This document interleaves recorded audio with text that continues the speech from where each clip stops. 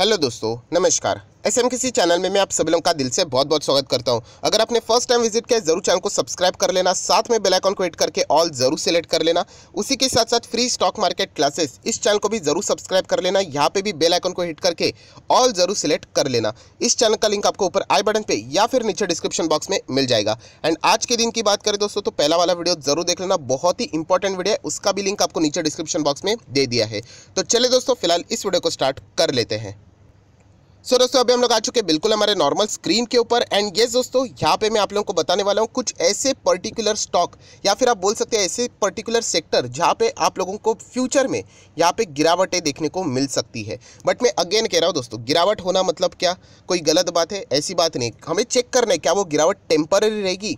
या फिर बहुत लंबी देर तक चलेगी। And second most important point क्या वो गिरावट किसी इंडिविजुअल स्टॉक को हिट करेगी या फिर पूरे इंटायर सेक्टर को हिट करेगी? जिसको मैंने सिंप्लीफाइड मैनर में आप लोगों को बहुत बार सिखाया है कि इंटरनल गिरावट है या फिर एक्सटर्नल गिरावट है। अगर इंटरनल गिरावट रहेगी मतलब किसी पर्टिकुलर इंडिविजुअल कंपनी में इशू है तो फिर वो डेंजरस रहता है। बट अगर एक्सटर्नली गिरावट रहेगी, जैसे कि पूरा का पूरा अगर सेक्टर ही नीचे आता है, पूरा का पूरा स्टॉक मार्केट ही नीचे आता है तो फिर कोई डरने की ज़रूरत नहीं। इनफैक्ट ऐसा ही जो माहौल रहता है वो सबसे बेस्ट होता है इन्वेस्टमेंट करने के लिए। सो so, सबसे पहले हम लोग रीज़न देखेंगे कि किस चीज़ की मैं यहाँ पे बात कर रहा हूँ क्यों गिरावट की चांसेस सबसे ज़्यादा यहाँ पे है और क्या इस गिरावट में मौका मिलने वाला है या फिर धोखा? तो ये सारी चीज़ें मैं आप लोगों को जेन्यूनली एग्ज़ाम्पल के साथ आप लोगों के सामने रखने वाला हूँ। सो so, ज़रूर वीडियो को पूरा देख लेना बहुत ही इंपॉर्टेंट एंड इंटरेस्टिंग वीडियो है।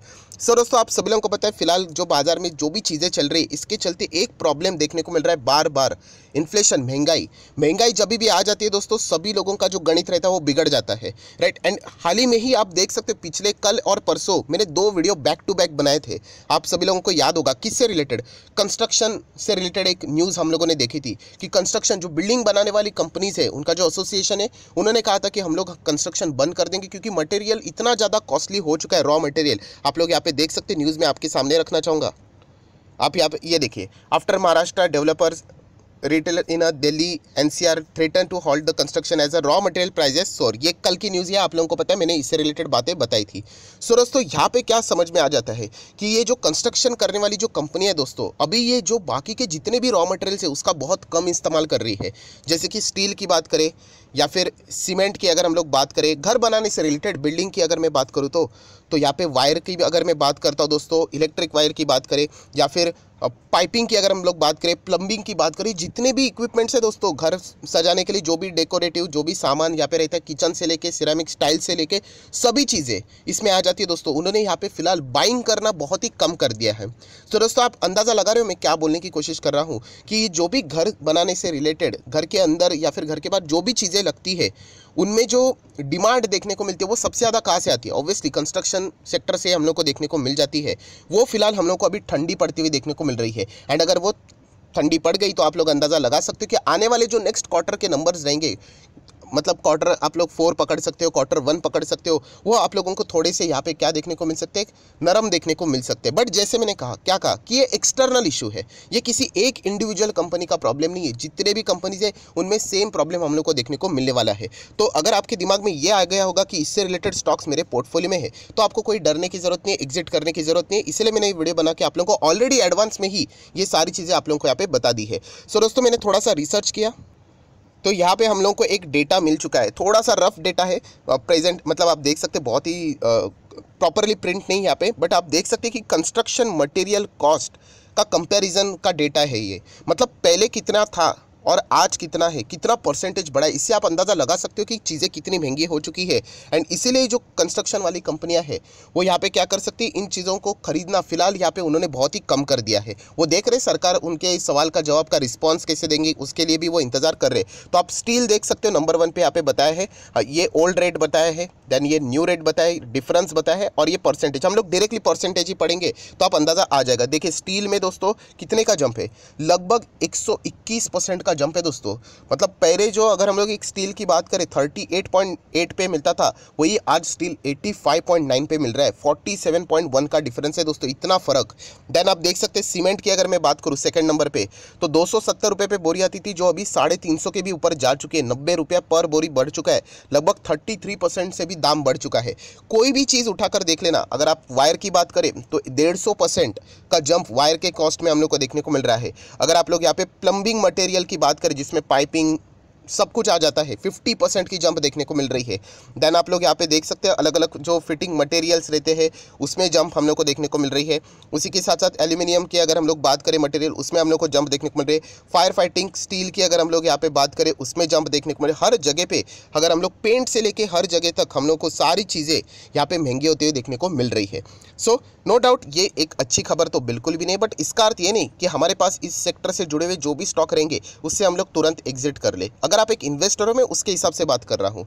बिल्कुल भी नहीं क्योंकि ये जो इशू है वो एक्सटर्नल इशू है। हर किसी के लिए बिल्कुल ही इक्वली रोल यहाँ पे प्ले होने वाला है। सो so, दोस्तों इससे क्या हो जाएगा? जैसे मैंने कहा कि कोई भी एक पर्टिकुलर सेक्टर का स्टॉक पकड़ लेते हैं। जैसे कि चलो मैं कौन सा पकड़ लेता हूँ यहाँ पे वायर पकड़ लेता हूँ। अभी वायर बनाने वाली जो कंपनीज़ रहेगी नो डाउट उनके डिमांड में हम लोग को गिरावट देखने को मिलने वाली है राइट एंड इसी के चलते आगे जाके उनके जो नंबर्स रहेंगे वो भी कमज़ोर आ जाएँगे। बट जैसे मैंने कहा कि वायर के जितने भी कंपनीज़ हैं उनके सभी के नंबर्स हम लोग को फिर वीक देखने को मिलेंगे। सो so, ये एक्सटर्नल इशू है इसीलिए अगर आप दिमाग लगाओगे कि ऐसी गिरावट अगर हो जाती है तो उसमें आप लोगों ने मौका ढूंढना चाहिए कि वहाँ पे आप लोग स्टॉक्स को एक्यूमुलेट करो। जैसे कोविड के वक्त भी हम लोगों ने कैसे ऐड किया, आज देख सकते कैसे फ़ायदा मिल रहा है। इनफैक्ट रशिया वर्सेस यूक्रेन भी एक बहुत बड़ी अपॉर्चुनिटी आप लोगों को दे रहा है बाज़ार में। अच्छे अच्छे सस्ते दाम में यहाँ पे चल रहे वैसे ये भी एक जो इशू है दोस्तों, ये इन्फ्लेशन की कोई लाइफ टाइम नहीं रहने वाला है। ये सारी चीज़ें सॉर्ट आउट हो जाती है।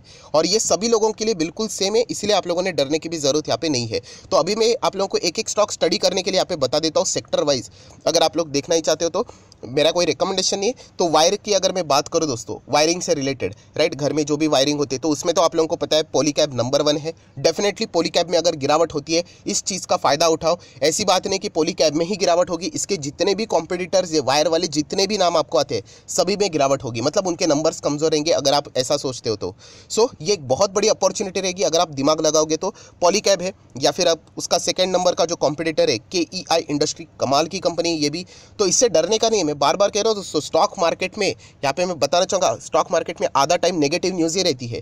बट इस नेगेटिव न्यूज़ का इम्पैक्ट अगर आपको पता चल गया कि वो कितने देर तक रह सकता है तो ही आप लोग जीत जाओगे। कोविड में भी कितनी ज़्यादा नेगेटिविटी थी। मार्केट तो लोअर सर्किट पर लगा, लग गया था दो बार। मार्केट क्लोज कर दिया गया था राइट आज हम लोग कहाँ पे आप देख सकते हो। सो जो उस चीज़ को प्रॉपरली समझ पाया, वो मार्केट में टिक गया, क्योंकि मार्केट में हमेशा पॉजिटिव पॉजिटिव माहौल नहीं रहता है राइट यही मार्केट की खूबी, इसीलिए तो लोग ज़्यादा टिकते नहीं है। और जिनको एक बार ये फॉर्मूला पता चल गया वो हमेशा के लिए मार्केट से अच्छा पैसा पैसा कमाते हैं। सो इन्वेस्टमेंट के लिए एक अच्छी अपॉर्चुनिटी आप लोगों को भविष्य में ज़रूर देखने को मिलेगी। अगर आप लोग पाइपिंग से रिलेटेड यहाँ पे कोई स्टॉक को आइडेंटिफाई करने जाओगे तो मुझे ऐसा लगता है एस्ट्रल नंबर वन है। ज़रूर आप इसको कंसिडर कर सकते हो। कमाल की कंपनी है। देन मैं पर्सनली प्रिंस पाइप आप लोगों को यहाँ पे बताता हूँ कि ये मुझे अच्छा लगता है। इस एस्ट्रल के बाद आप लोगों को अलग अलग और भी है। फिनोलेक्स पाइप भी है। देन अगर देखा गया तो सुप्रीम इंडस्ट्री भी है राइट वो भी अच्छे बट मैं थोड़ा बहुत प्रिंस से रिलेटेड आप लोगों को चीज़ें यहाँ पे बता चुका हूँ। बट अभी तक इतना कुछ खास अभी तक ये भागते हुए देखने को तो यहाँ पे नहीं मिला है। सो so, ये आप लोग देख सकते हो। नेक्स्ट अगर हम लोग बात करें अगर घर से रिलेटेड जो भी सामान रहता है जैसे कि सिरेमिक्स की बात करें टाइल्स की बात करें किचन में भी जो भी सामान यहाँ पे लगता है अलग अलग चीज़ें रहती है तो सोमानी होम इनोवेशन लिमिटेड मैंने आप लोगों को बताया था ये कंपनी मैंने हाल ही में खरीदा था। बट फ़िलहाल हम लोग कह सकते हैं जो चीज़ें देखने को मिल रही है ये सबसे ज़्यादा रिस्क है दोस्तों।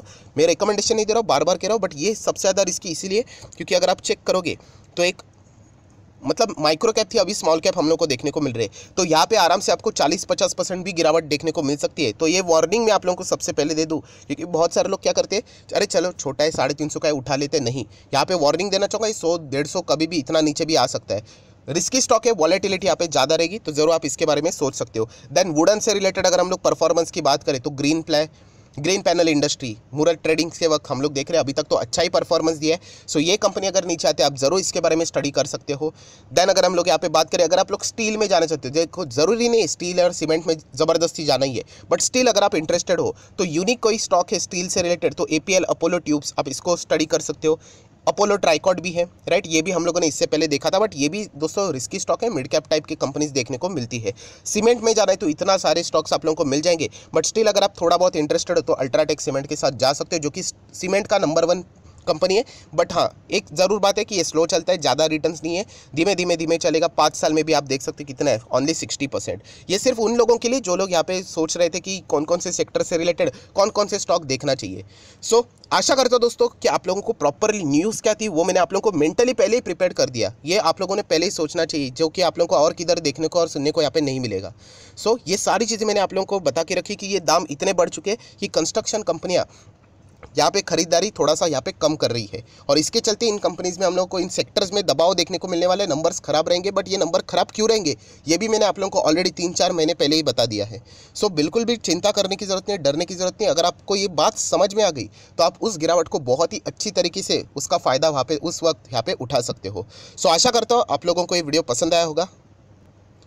तो ज़रूर इस वीडियो को लाइक एंड शेयर कर देना। एंड डीमैट अकाउंट अभी तक ओपन नहीं किया है दोस्तों तो लिंक नीचे डिस्क्रिप्शन बॉक्स में ज़रूर डीमैट अकाउंट ओपन कर लेना लिंक के थ्रू आपका नाम और कौन सा अकाउंट ओपन किया है मुझे कमेंट सेक्शन में बता देना। तो 25 वीडियो की लिस्ट है बेसिक ऑफ़ स्टॉक मार्केट से रिलेटेड दोस्तों।